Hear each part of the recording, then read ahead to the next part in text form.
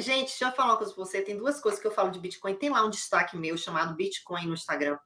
Tem duas coisas que eu não invisto em Bitcoin. Primeiro, que eu acho que vai ter regulação forte aí do governo americano. Meu marido está dizendo isso para mim há mais de desde que a gente casou. Meu marido fala isso para mim. O Bitcoin tem um risco muito grande. Os governos regulamentou, acabou com o Bitcoin. Outra coisa, meu marido, especialidade dele, por coincidência, a especialidade dele, mestrado em Cyber Operation. Ele entende muito de segurança de dados. É a área dele, é a área que ele trabalha. É, e meu marido não investe em Bitcoin. Ele não fala muito, porque ele não pode também falar muito por causa de compliance, mas ele não investe em Bitcoin. E ele acredita na regulamentação do Bitcoin no longo prazo quando ficar uma, uma, algo mais popular. Então, o que é que eu acho?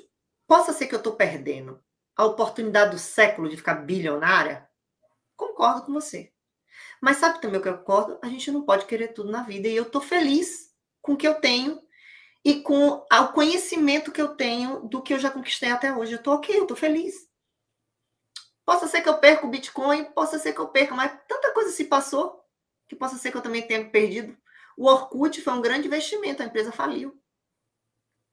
O ideal é, diversificar. Vem empresas que você acredita, diversificar seus investimentos, investir no que você conhece. Outra, investir em setores que você simpatiza, porque você vai estudar e vai acompanhar com leveza. Eu adoro a área de tecnologia, adoro. Eu sou sócia das empresas de tecnologia, não, não só na bolsa. Quando eu faço um ads, eu sei. Gente, por que, que eu amo tantas empresas de tecnologia? Porque elas são sócias dos ricos da América. Vocês não sabem, mas elas são. Porque tudo que eu uso é ferramenta de rede social.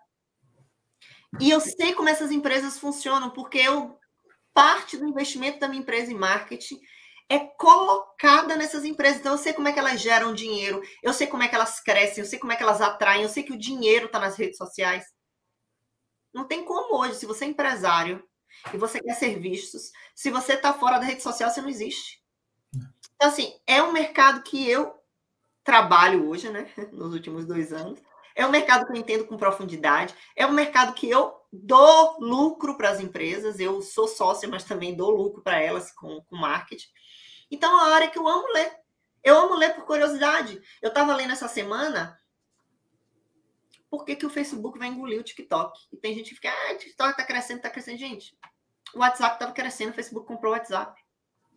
Então, assim, é, a outra coisa, estratégia do Facebook em crescer em cima do TikTok. Eu estava lendo todo o relatório. Eu tive estratégias para minhas redes sociais a partir de ler relatório das empresas. Por que, que, por que, que o Facebook está investindo tanto nesse modelo do TikTok? Você sabe por quê? Ou você acha que é porque Mark Zuckerberg é bem bobinho? Ele é bobo. Ele acordou assim e falou: Ah, não, vou investir nessa área aqui porque é o que eu tô afim. Não. Tudo tem um porquê. E isso faz com que eu me interesse, porque o meu jogo hoje é o jogo das redes sociais. Então, eu entendo de rede social, eu leio o relatório, eu sei como as empresas funcionam, sei para onde está indo, resultado financeiro, lucro. A ação está caindo, mas Verena não está deixando de, de dar o fair share dela para bancar o, o, Instagram todo, todo, todo lançamento. Não existe outra rede social para eu anunciar que dê resultado. Então, assim, são coisas que me levam a pensar de forma lógica.